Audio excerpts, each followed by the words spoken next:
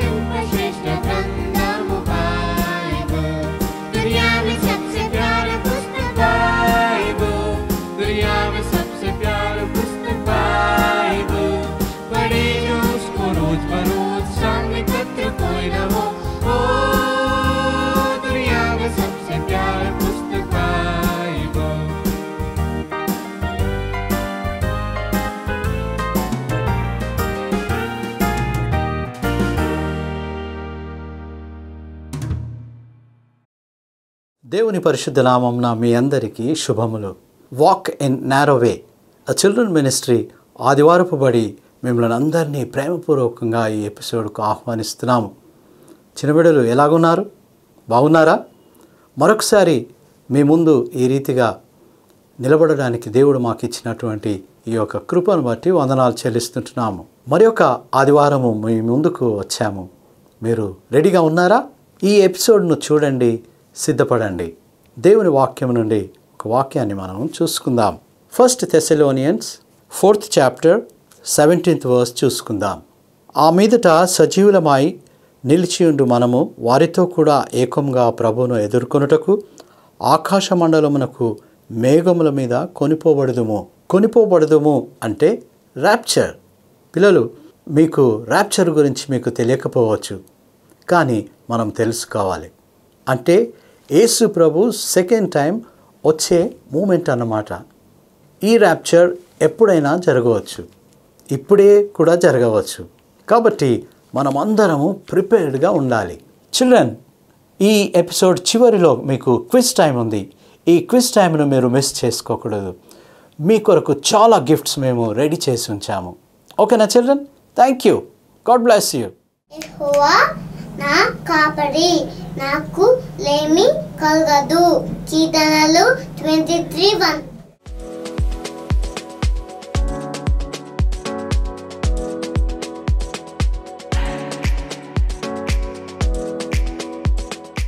నా ప్రియుడైన యేసుక్రీస్తు పరిశుద్ధనామం మీ అందరికీ శుభములు. ఈరోజు మన పాఠం పేరు దేవుని స్వరూపము ఏమిటి? What is the image of God దేవుడు ఎలాగుంటాడు? అన్న విషయాలు నేర్చుకున్నాం.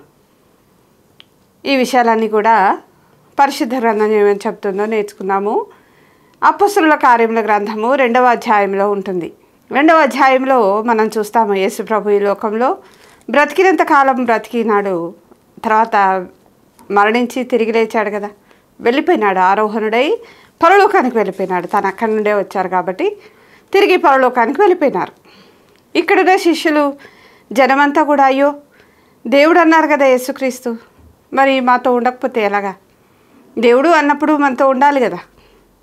అని అనుకున్నప్పుడు యేసుక్రీస్తు అన్నాడు నేను ఈ శరీరంలో ఉంటే కొంత లిమిటెడ్ ఏరియాస్లోనే తిరగలను లిమిటెడ్ పీపుల్నే కలవగలను నేను వెళ్ళిపోతూ ఉన్నాను. వెళ్ళిపోయినప్పుడు నా ఆత్మ మీ దగ్గరికి వస్తుంది. వారే పరిశుద్ధాత్మ దేవుడు. మీ దగ్గరకు వచ్చినప్పుడు మిమ్మల్ని గైడ్ చేస్తుంది నడిపిస్తుంది. ఈ ఆత్మస్వరూపి అయిన దేవుడు మనల్ని నడిపిస్తాడు గైడ్ చేస్తాడు అన్న విషయాన్ని యేసుప్రభు వారు చెప్పారు. అంతేకాదు నా ఆత్మ అంటే పరిశుద్ధాత్మ దేవుడు మీ మీదికి వస్తాడు. వచ్చినప్పుడు మీరు శక్తిని ఉందెదరు ఎలాంటి శక్తి? దేవుని శక్తిని మన మీదకి వస్తుంది. దేవుని శక్తి మనలో నింపబడుతుంది అని చెప్పాడు యేసుప్రభు సరే అలాగే ఎదురు చూస్తూ ఉన్నారు శిష్యులందరూ ఒక దినమున. ఒక అప్పర్ రూమ్లో కలుసుకున్నారు. శిష్యులందరూ ఉన్నారు. వాళ్ళతో పాటు ఇంకా చాలామంది ఉన్నారు. అప్పుడు పెద్ద స్వరంతో ఒక గాలి వచ్చినట్టుగా వచ్చి వారి మీదకి పరిశుద్ధాత్మ దేవుడు దిగి వచ్చారు. యేసుప్రభు చెప్పినలాగానే పరిశుద్ధాత్మ దేవుడు వారి మీదకి ఫైర్ లాగా దిగి వచ్చారు. ఆ ఫైర్ దిగి వచ్చిన తర్వాత ఫైర్ టంగ్స్ లాగా సపరేట్ అయిపోయి ప్రతి ఒక్కరి మీదకి దిగి వచ్చినట్టుగా దేవుని వాక్యం చెప్తుంది. ఆ తర్వాత వాళ్ళు మాట్లాడడం మొదలుపెట్టాడు. ఏవ ఏమైనా మాట్లాడుతున్నారు? వాళ్ళందరూ కూడా ఎరుశలేంలోనే ఉన్నారు. ఎరుశలేంలో ఎందుకు వస్తారు అని అంటే పండగకు వస్తారు. పెంతకొస్తనే దిన పండగ దినం అది. ఆ పండగ కోసము చాలామంది ప్రజలు వచ్చారు. చాలా దూర దూర ప్రాంతాల నుండి కూడా వచ్చారు. దాదాపు పదహారు ప్లేసెస్ నుండి ప్రజలు వచ్చారు. వేరు వేరే వేరే వేరే లాంగ్వేజెస్ మాట్లాడే వచ్చారు. ఆ టైంలో ఈ శిష్యుల మీదకి మాత్రమే పరిశుద్ధాత్మదేవుడు దిగి వచ్చారు. అప్పుడు వారు వీళ్ళ భాషల్లో మాట్లాడడం మొదలుపెట్టారు. ఎవరి భాషలో? అక్కడ కూడి వచ్చారే పదహారు పదిహేడు మంది జాతుల వారు. చాలామంది ఉన్నారు ఇంకా. వాళ్ళతో పేతులు లేచి మాట్లాడుతూ ఉన్నాడు. మిగతా శిష్యులు కూడా వాళ్ళ వాళ్ళ భాషల్లో వారితో మాట్లాడుతూ ఉన్నారు. నిజానికి యేసుప్రభు శిష్యులు పన్నెండు మందిలో చాలామంది చదువు లేనివారు పామరులు అని దేవుని వాక్యం చెప్తుంది. కొంతమంది చదువుకున్నవారు. అయితే అందరూ కూడా వారి వారి భాషల వారితో చక్కగా నర్గలంగా విషయాలు చెప్తూ ఉన్నారు యేసుప్రభు గురించి. అప్పుడు చాలా ఆశ్చర్యపడ్డారు వచ్చిన వాళ్ళు. వీళ్ళకి ఎలాగ వస్తున్నాయి? వీళ్ళు గలిలేయులు కదా? గలిలేయులు కదా? అక్కడ గలిలే ప్రాంతంలో ఉన్న ప్రజలు కదా వీళ్ళు? వీరికి ఎట్లా వస్తుంది? ఈ భాషలన్నీ మా భాషలు వస్తున్నాయి ఎట్లా? మా భాషలో వారు మాట్లాడుతూ ఉన్నారు. చక్కగా అర్థమవుతుంది మాకు. ఎంత గొప్ప సంగతి. పరిశుద్ధాత్మదేవుడు ఆ రోజున దిగి వచ్చారు ఏ రోజు? పెంతకొస్తనే దినంన దిగి వచ్చారు చాలామంది వీళ్ళు మత్తులుగా ఉన్నారేమో అనుకున్నారు. మిస్అండర్స్టాండ్ చేసుకున్నారు. కానీ మత్తులుగా లేము అని పేతులు లేచి చెప్తూ ఉన్నాడు. మేము మత్తులుగా లేము. ఎంత అవుతుంది ఇప్పుడు? టైం ఎంత అవుతుంది? Morning nine o'clock. నైన్ ఓ క్లాక్కి ఎవరైనా మత్తులుగా ఉంటారా? మేము లేము. ఇది తొమ్మిది గంటల సమయము. మేము పరిశుద్ధాత్మ పూర్ణమై ఉన్నాము. మా పరిశుద్ధాత్మ దేవుడు మా మీదకి దిగి వచ్చారు అని వారు వారితో మాట్లాడుతూ ఉన్నారు. అప్పుడు పేతులు లేచి అన్ని విషయాలు కూడా వారికి బోధిస్తూ ఉన్నాడు. వారి భాషలో. వారి భాష అంటే వారు మాట్లాడే భాషలో వారికి బోధిస్తూ ఉన్నారు. అప్పుడు చాలా ఆశ్చర్యం కలిగింది. ఈ పరిశుద్ధాత్మ దేవుడు దేవుని స్వరూపము. ఆత్మస్వరూపి. దేవుడు ఏ స్వరూపి? ఆత్మస్వరూపి. ఆత్మగా మన మధ్య ఉన్నారు. సంచరిస్తూ ఉన్నారు. ఆ రోజు నుండి కూడా సంఘము అంటే చర్చ్ ఎస్టాబ్లిష్ చేయబడింది. సంఘం ఎస్టాబ్లిష్ చేయబడింది ఆ రోజే. సంఘము అని అంటే పరిశుద్ధాత్మ దేవుడు మనతో కూడా ఉండడమే సంఘము. మీతో ఉన్నారా? అయితే ఏ పరిశుద్ధాత్మ దేవుడు మనలోనికి రావాలి అని అంటే మనం కూడా ఇష్టపడాలి. ఇష్టపడితే తప్పకుండా ఆ రోజు వారు ఎదురు చూసినట్టుగా మనం కూడా ఎదురు చూడాలి. ఈరోజు కూడా సంచరిస్తున్న పరిశుద్ధాత్మ దేవుడు మనలోనికి రావడానికి మనం ఇష్టపడితే వస్తారు. యేసు ప్రభు యొక్క ఆత్మని గనక మనం ఇన్వైట్ చేసినప్పుడు తప్పకుండా మన లోపలికి వస్తారు. వచ్చినప్పుడు ఏం జరుగుతుంది తెలిసిన? దేవుని వాక్యం ఏం చెప్తుంది? ఇలాంటి పరిశుద్ధాత్మ దేవుడు మన మీదకి వస్తే మనల్ని ఒప్పింపజేస్తారు? ఏ విషయంలో ఒప్పింపజేస్తారు? మనం పాపము విషయం ఒప్పింపజేస్తారు? నీతి విషయం ఒప్పింపజేస్తారు? అలాగే తీర్పు కూడా ఉంది అని ఒప్పింపజేస్తారు. యోహాను సువార్త పదహారో అధ్యాయము ఎనిమిదో వచనము. ఆయన వచ్చి పాపమును గుర్చి నీతిని గూర్చి తీర్పును గూర్చి మిమ్మల్ని ఒప్పింపజేయను. నేను పాపిని అని తెలుసుకుంటాము. ఎప్పుడైతే పరిశుద్ధాత్మ దేవుడు నాలోనికి వచ్చారో నేను ఆ విషయం తెలుసుకున్నాను. అంతవరకు నేనేం పాపం చేయలేదు. నేను చాలా మంచిదాన్ని అనుకున్నాను. కానీ ఎప్పుడైతే యేసుప్రభు యొక్క ఆత్మ అయిన పరిశుద్ధాత్మదేవుడు నాలోనికి వచ్చారో అప్పుడు నేను ఎంత పాపినో తెలుసుకున్నాను. అంతేకాదు నీతిని గురించి మనకు మంచి క్రియలు చేయటమే నీతి అనుకుంటాం కానీ యేసుప్రభు యొక్క ఆత్మ మనలోనికి వచ్చినప్పుడు ఆయన నీతి మనలోకి వస్తుంది. స్వచ్ఛమైన శ్రేష్టమైన నీతి ప్రేమతో కూడిన నీతి మనలోకి వస్తుంది. అంతేకాదు మనకు ఒక రోజు తీర్పు ఉంది. ఇలాగూ పరిశుద్ధాత్మ దేవుడు ఈ లోకానికి వచ్చిన తర్వాత ఇప్పటి వరకు కూడా ఉన్నారు. అయితే ఈ రోజుల్లో ప్రత్యేకంగా పరిశుద్ధాత్మ దేవుడు తన పని ముగించుకొని తన సంఘాన్ని తీసుకొని వెళ్ళే రోజుల్లో మనం ఉన్నాం. అంటే యేసుప్రభు యొక్క రెండవ రాకడలో ఉన్నాం. రెండవ రాకడకు ముందు పరిశుద్ధాత్మ దేవుడు మనల్ని కొనిపోతారు. తన సంఘాన్ని కొనిపోతారు. సంఘము యేసుప్రభు యొక్క శరీరంగా చెప్పబడింది బాడీ అయితే హెడ్ ఎవరు? యేసుప్రభువే.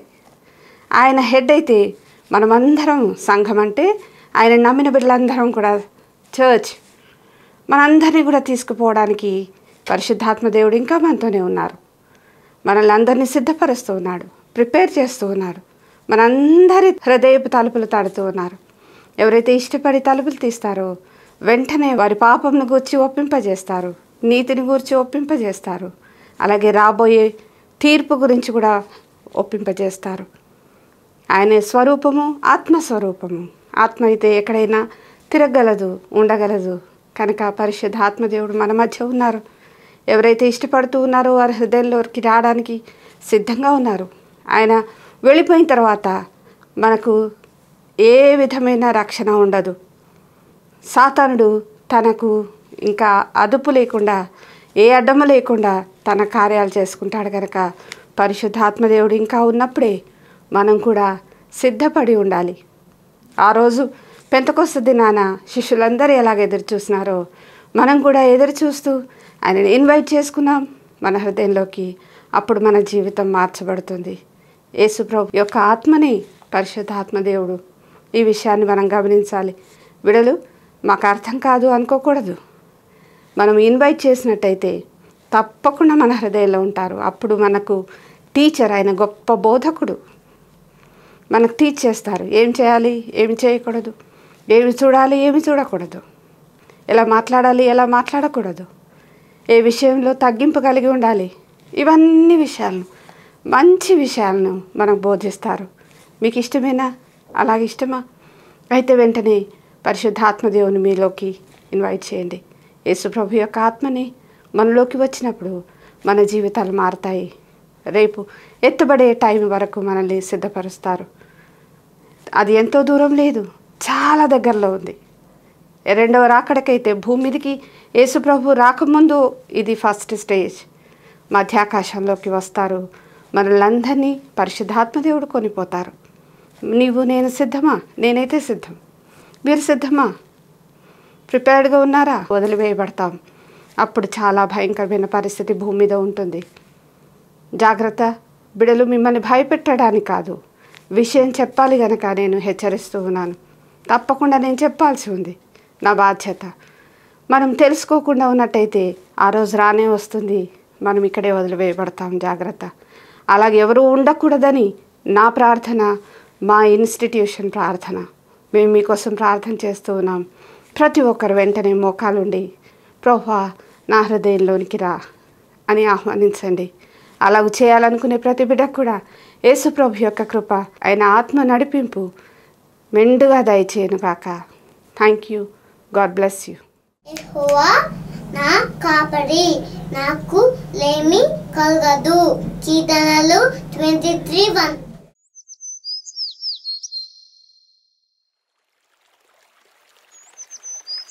യശയമാട്ടാ ജീവകൂട്ട പരമ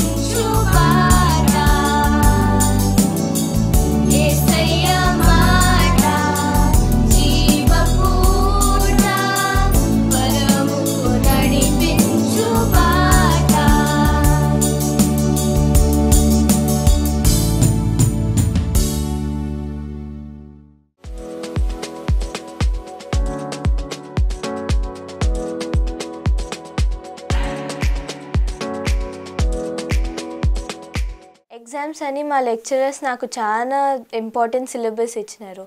ఒకవైపు నా ప్రాజెక్ట్ వర్క్స్ కూడా మిగిలిపోయినాయి. నేను ఇప్పటి నుంచి ఒక స్పెసిఫిక్ టైం టేబుల్ వేసుకుంటేనే ఇవన్నీ చేయగలనేమో ఏంటి జైనా టెన్షన్ పడుతున్నావు? నువ్వేం టెన్షన్ పడకు. నేను నీతో పాటు కూర్చుంటాను. ఎంత లేట్ అయినా పర్లేదు. సరేనా? నేను నా బైబిల్ స్టడీ చేసుకుంటా. నేను నువ్వు చదువుకో. సరే అక్క. అవును జైనా ఇవాళ నీ బైబిల్ పోర్షన్ చదువుకున్నావా? లేదు అక్క ఈరోజు ఇంత టెన్షన్లో నా బైబిల్ డివోషన్ స్కిప్ అయిపోయింది. అవునా? అయితే మనం ఒక ఫైవ్ మినిట్స్ బైబిల్ డిస్కషన్ చేసుకుందామా? సరే అక్క. ఎగ్జామినేషన్ పాయింట్ ఆఫ్ వ్యూలో నీకు సిలబస్ ఇస్తారు కదా ఇంపార్టెంట్ క్వశ్చన్స్ అని చెప్పేసి. అవును అక్క. అరౌండ్ ద వరల్డ్ జరుగుతున్న వాటిని బట్టి ఇంపార్టెంట్ ఇష్యూ ఏంటో తెలుసునా? నువ్వు అనే విషయం second coming of Jesus Christ గురించే కదా. అవును మొన్న సండే స్కూల్ టీచర్ చెప్పింది కదా మనకు. Second coming of Jesus Christ will be in two phases yes two ఫేజెస్లో ఉంటుంది. ఫస్ట్ ఫేజ్ ర్యాప్చర్ అంటే సంఘం ఎత్తపడుతా సెకండ్ ఫేజ్ యేసు ప్రభు భూమి మీదకి రావడం. ఫస్ట్ ఫేజ్లో యేసు ప్రభు మధ్యాకాశం వరకే వస్తాడు. సెకండ్ ఫేజ్లో యేసు ప్రభు భూమి మీద వరకు వస్తాడు. ఫస్ట్ ఫేజ్లో యేసు ప్రభు సంఘం కొరకు మాత్రమే పెళ్ళి కుమారుడిగా వస్తాడు.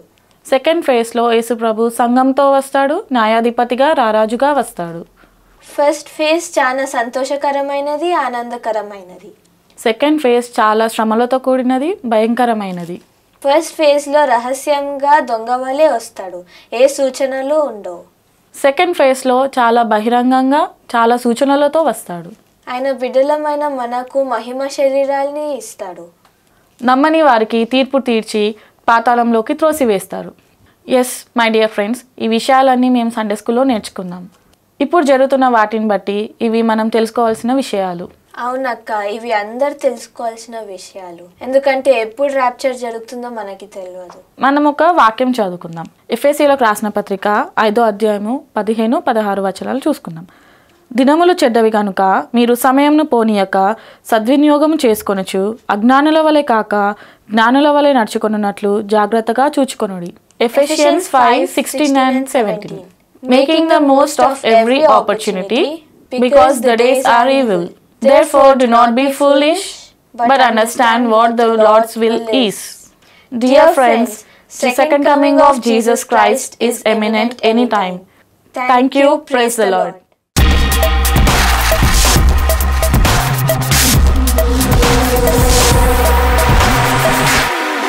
Hi friends, welcome back to the quiz time. I've got a few questions for you from today's lessons. Question 1 As Jesus said, who is to come and fill the apostles to become powerful? I repeat, as Jesus said, who is to come and fill the apostles to become powerful? Question 2 Where do we find the apostles on the day of Pentecost? I repeat, where do we find the apostles on the day of Pentecost? Question 3 In what form did the Holy Spirit fell upon the apostles? I repeat, in what form did the Holy Spirit fell upon the apostles? Write your answers in the comment section below. We will be coming up with the prize announcements in the following weeks. Stay tuned and have a great week ahead. Blessings scripture. Our Father in heaven, hallowed be thy name. Thy kingdom come, thy will be done on earth as in heaven. Give us today and daily bread for our trespasses and forgive those trespass against us. And it's not to temptation, for that way from evil. For thine is the kingdom, for power and the glory, for ever. Amen.